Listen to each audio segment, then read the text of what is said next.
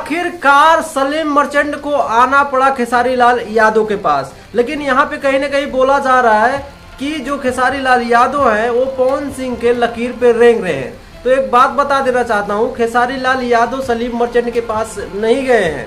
Salim merchant Khesari के पास आए हैं। बाकी क्या है वीडियो में? वीडियो शुरू से लेकर लास्ट तक देखना होगा। बाकी चैनल को सब्सक्राइब कर लो। मैं बता देना चाहता हूँ, पवन सिंह के साथ लगभग सलीम सुलेमान तीन चार गाना कर चुके हैं। लेकिन किसी भी गाने पे अभी अगर व्यूज़ देख लिया जाए तो भैया 20 मिलियन से व्यूज़ क्रॉस किसी भी गाने पे नहीं है। एक गाना याद आती नहीं है, गाना अभी आया था फ़िलहाल में। उसके बाद में खोली का सॉन्ग आया था, बबुनी तेरे रंग में। उस पर सोलह मिलियन व्यूज़ है।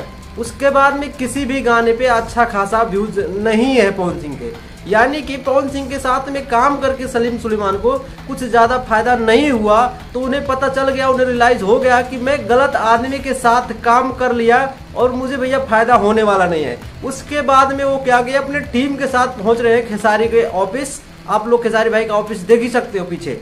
उससे अंदाज़ा लग गया है कि खेसारी के पास वो लोग आए हैं। तो भैया वहाँ पे आने के बाद हाथ जोड़ रहे हैं कि भैया हमारे साथ काम कर लो, हम पवन सिंह के साथ काम किए, हमारा करोड़ रुपया नुकसान हो गया।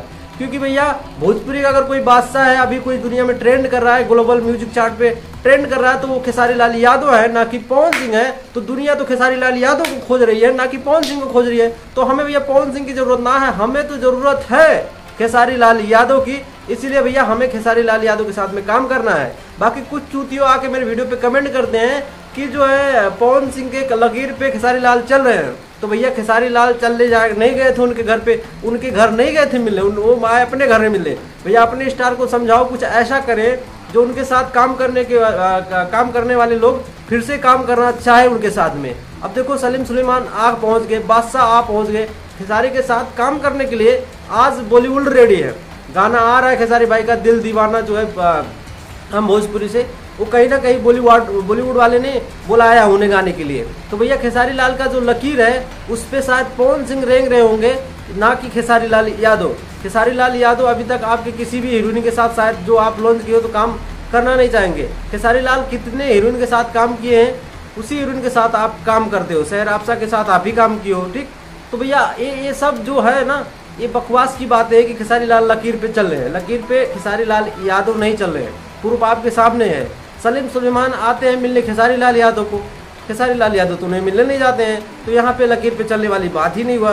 और खेसारी लाल यादव तो जाके नहीं बोले होंगे कि भैया हमारे साथ काम कर लो, हमारे पास काम नहीं है। काम खेसारी लाल यादव के पास इतना है कि भैया वो चौबीसों घंटा बिज़ी रहते हैं। अभी बोल बम का सॉन्ग आ रहा है, इतना ज़्यादा बिज़ी उसी में बिज़ी है। तो खेसारी के पास काम की कमी नहीं है। आपके भैया के पास काम की कमी होगी तो शायद इसीलिए सलीम सलमान के साथ काम करते होंगे। और बाकी खेसारी के गाना तो भैया आप लोग सुनते हो। हर एक दो दिन के अंदर एक गाना आ ही जाता है। आप सबको पता है, कोई टीजर आता है, किसी का गाना आता है। मुझे लग रहा है कि डेली जो है यूट्यूब पे खेसारी लाल यादव भाई का वीडियो आते ही रहते हैं। इसीलिए शायद वो है, आज भोजपुरी के नंबर वन हीरो बन चुके हैं। बाकी आप सबका क्या मानना है? सलीम सुलेमान खेसारी भाई के पास आए थे या खेसारी उनके पास गए थे? कमेंट करके बताओ। बाकी चैनल को जो है सब्सक्राइब कर लो ऐसे वीडियो के लिए। वीडियो पसंद आए, वीडियो को लाइक मारो।